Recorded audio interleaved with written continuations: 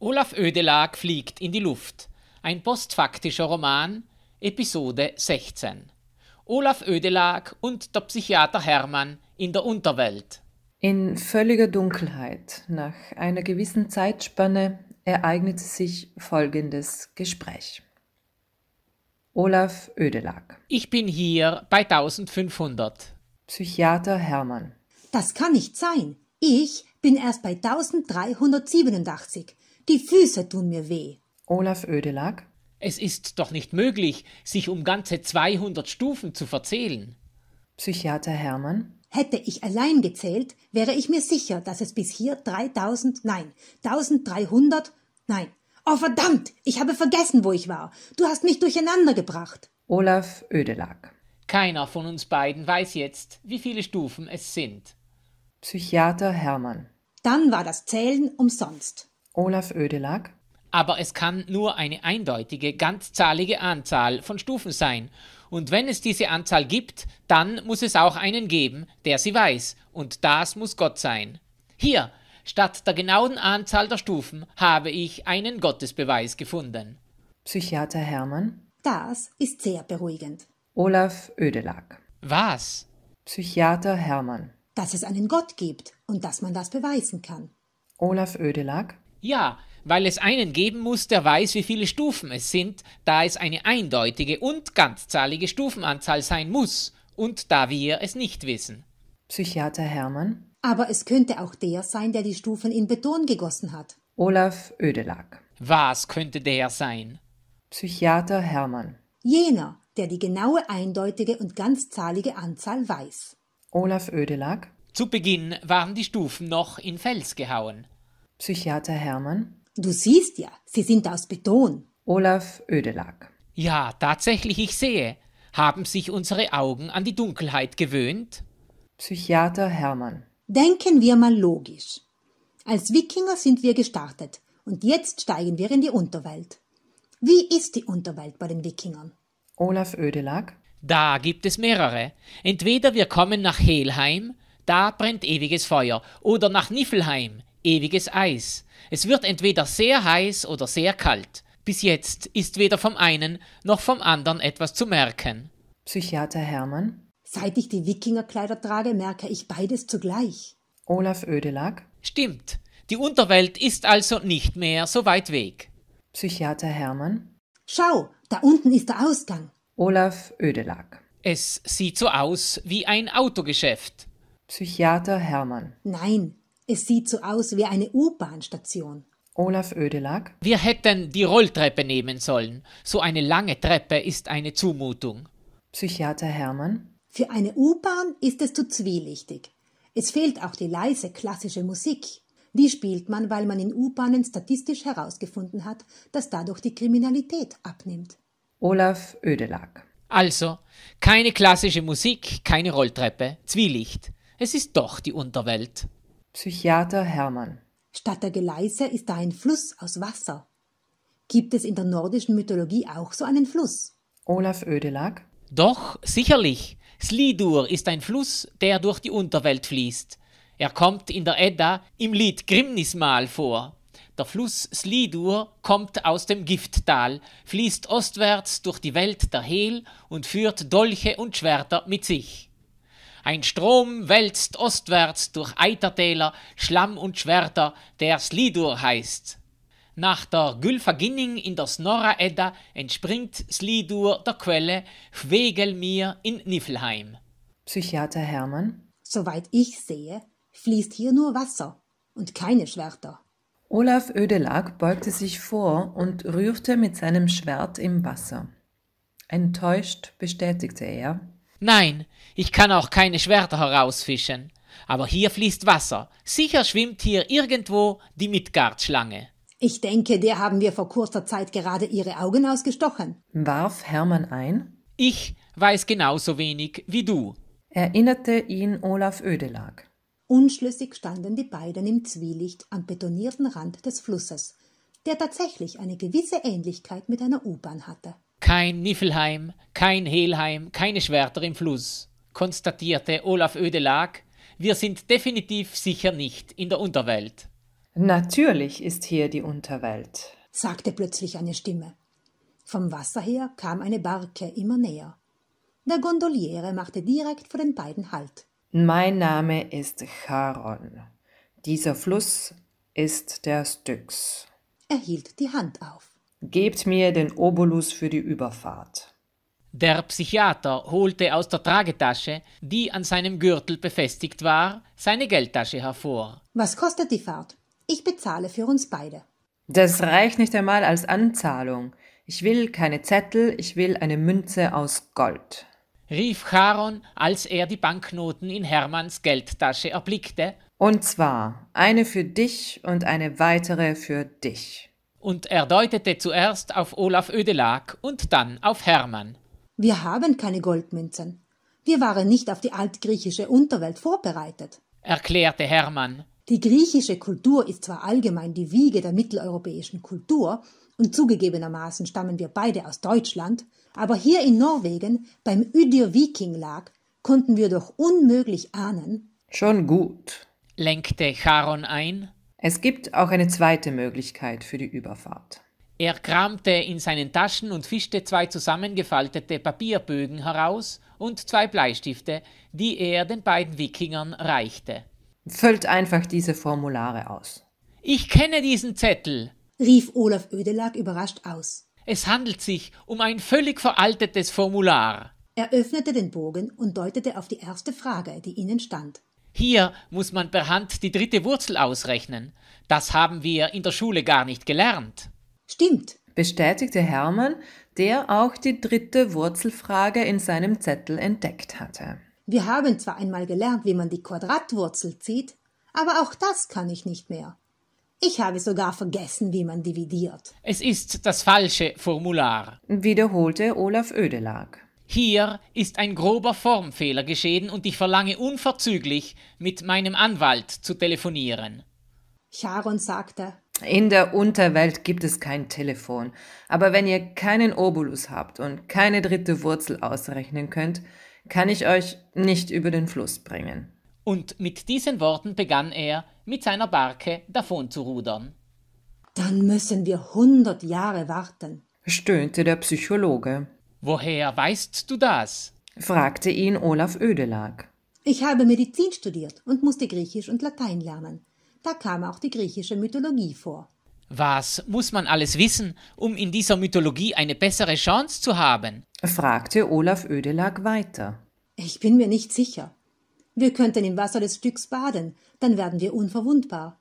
Der Held Achill wurde von seiner Mutter Thetis darin gebadet. Nur die Ferse, an der sie ihn dabei festhielt, war danach noch verwundbar. Andererseits soll Alexander der Große mit dem Wasser des Stücks vergiftet worden sein. Wir könnten darin schwimmen und acht geben dabei, kein Wasser in den Mund zu bekommen. Ich weiß nicht recht. Immer besser, als hundert Jahre zu warten. Auch wenn wir unverwundbar wären, müssten wir hundert Jahre warten. Wir steigen die Treppe wieder nach oben und versuchen, ob wir nicht doch irgendwie hinauskommen. Inzwischen hat sich das giftige Gas des blauen Seepferdchens sicher verzogen, entschied Olaf Ödelag. Genau in diesem Moment ertönte eine krachende Lautsprecherstimme. Bitte, Achtung, Zug fährt durch. Bitte zurücktreten. Olaf Ödelag und Hermann schauten sich erstaunt an, aber nichts geschah. Gut, gehen wir nach oben, sagte Hermann, und die beiden wandten sich wieder der Treppe zu. Dann kam die Bahn. Die Gleise mussten sich wenige Zentimeter unter der Wasseroberfläche befinden, und als der Zug durchrauschte, spritzte das Wasser Meter hoch. Glaubst du, jetzt sind wir unverwundbar? fragte Olaf Ödelag, da sie beide völlig durchnässt und nun frierend am Flussrand standen. Nein, das glaube ich nicht, antwortete Hermann, und dann ging er wild entschlossen die Treppe hoch, da er hoffte, der lange Aufstieg helfe vielleicht gegen die Kälte. Sie waren schon dort angelangt, wo das Zwielicht, das unten herrschte, der völligen Dunkelheit gewichen war. Da hörten sie wieder von unten, ganz leise, den krachenden Lautsprecher mit einer neuen Durchsage. Itte, Achtung, der Zug Nummer 81354 von nach mit der fahrplanmäßigen Ankunft um 10.42 Uhr fährt ein. Bitte zurücktreten. So schnell sie es vermochten, hasteten sie die Treppe wieder nach unten. Ein Zug fuhr ein und hielt. Olaf Ödelag und Hermann erreichten ihn, drückten auf den Knopf an der Tür, sie öffnete sich und die beiden konnten einsteigen. Es war ein Großraumwagen und alle Plätze waren leer. Hier drinnen war es deutlich heller und geheizt. Leise klassische Musik ertönte aus den Lautsprechern. Die Bahn fuhr wieder los.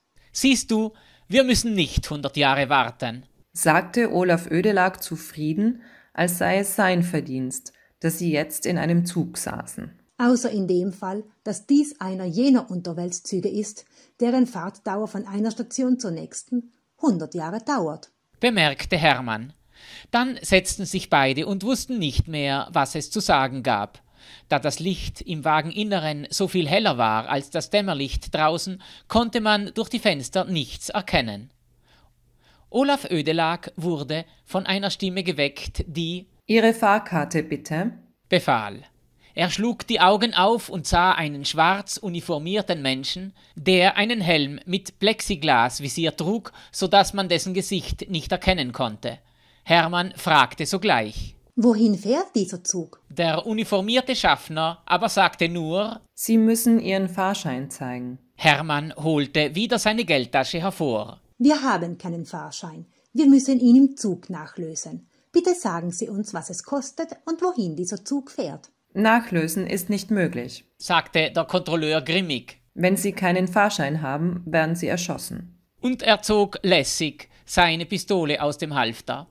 Da gab Olaf Ödelag einen Schrei von sich und rammte dem Kontrolleur sein Schwert in den Bauch, und zwar mit derartigem Schwung, dass die blutige Spitze am Rücken wieder hervortrat. Zugleich schoss der Schaffner mit der Pistole. Er traf weder Olaf noch Hermann, aber eine Scheibe im Wagen zersplitterte, der kalte Fahrtwind erfüllte den Waggon und die Fahrgeräusche waren nunmehr so laut, dass von der leisen klassischen Musik nichts mehr zu hören war. Bist du verrückt? schrie Hermann. Du kannst doch nicht einfach Leute niederstechen. Der Kontrolleur ist verrückt. Er hätte uns erschossen. Entgegnete Olaf Ödelag und zog sein Schwert aus dem Körper des Schaffners, der wie ein Sack zu Boden gefallen war. Lass uns in den nächsten Waggon gehen, hier ist es zu kalt, und halt auch du dich bereit. Sollte ein weiterer Kontrolleur auftauchen, müssen wir schneller sein. Auch dein Wikingerkleid ist blutbesudelt, und wenn er die Leiche hier sieht, wird er nicht erst nach der Fahrkarte fragen, bevor er schießt. Sollen wir denn nicht besser seine Pistole mitnehmen? Ich habe noch nie mit einer Pistole geschossen. Mit dem Schwert fühle ich mich beschützt. Nimm du sie, wenn du dich damit sicherer fühlst. Ich fühle mich überhaupt nicht sicher, protestierte Hermann, doch er folgte Olaf Ödelag in den nächsten Waggon, der in der Tat auch geheizt war und in dem wieder die leise klassische Musik zu hören war. Zu ihrem Erstaunen saßen in diesem Waggon einige wenige Leute. Hermann ging gleich auf eine Frau zu und fragte sich höflich, ob sie wisse, wohin der Zug fahre. Die nächste Station heißt antwortete sie, und wir kommen bald dort an. Aber wie war das nochmal? Davon habe ich noch nie gehört. Ja, in diesem Teil des Landes sind die Ortsnamen sehr schwer auszusprechen. Würden Sie so nett sein und mir sagen, wo Sie eingestiegen sind? Ich bin in eingestiegen. Ist die Endstation dieser Bahn, dann muss ich umsteigen. Wohin müssen Sie denn? Wir müssen nach Hemnes fahren, sagte Olaf Ödelag. Die Frau erschrak, weil sie erst jetzt das blutbeschmierte Schwert bemerkte das Olaf Ödelag immer noch in der Hand hielt. Es tut mir leid, da sind Sie ganz falsch, sagte sie mit angstvoller Stimme. Von Hemnes habe ich noch nie gehört. Zugleich ertönte aus den Lautsprechern des Zuges Endstation. Umstiegsmöglichkeiten nach um 15.15 Uhr 15 auf Gleis 3 nach um 15.18 Uhr auf Gleis 7 und nach um 16.05 Uhr auf Gleis 1. Dieser Zug endet hier. Bitte alle aussteigen. Tatsächlich sahen sie durchs Fenster ein Schild mit der Aufschrift und der Zug blieb stehen. Hermann hatte gehofft, dass sie im Wirrwarr des Bahnhofs untertauchen könnten oder zumindest nicht auffallen würden, doch keiner von den wenigen Leuten, die hier im Bahnhofsgelände hin und her gingen, war als Wikinger gekleidet. Alle trugen graue Anzüge und sahen ganz anonym und normal aus. Wir gehen diese Treppe empor und dann raus, so schnell wir nur können, flüsterte Hermann Olaf Ödelag zu, der lieber die Rolltreppe genommen hätte. Auch auf diesem Stockwerk waren nur wenige Leute unterwegs, alle unauffällig und grau in grau gekleidet. Es war eine große, graue Halle, von der verschiedene Gänge abzweigten, beschildert mit Schriften wie A12, F25b, Richtung An den nackten Betonwänden waren weder Werbeplakate noch Graffitis zu sehen. Geschäfte schien es auch keine zu geben. Olaf Ödelag meinte, in der Ferne einen Uniformierten erspäht zu haben, womöglich mit Helm und Pistole wie der Kontrolleur im Zug, und er zog den Psychologen schnell in einen Seitengang, der zu einer weiteren Treppe nach oben führte. Wieder ein neues Stockwerk, alles grauer Beton, noch mehr Schilder M5V G21 sowie nach Müssen wir jetzt wieder 2000 Stufen nach oben gehen? Ich hoffe nicht. Dort drüben scheint wieder einer mit schwarzer Uniform zu sein. Ich sehe ihn nicht, aber wir biegen besser ab, bevor wir gesehen werden. Hier gehen nur Treppen nach unten. Dann kehren wir um. Ich will nach oben. Nicht rennen, das fällt noch mehr auf. Dort drüben. Eine Treppe nach oben. Okay, die nehmen wir.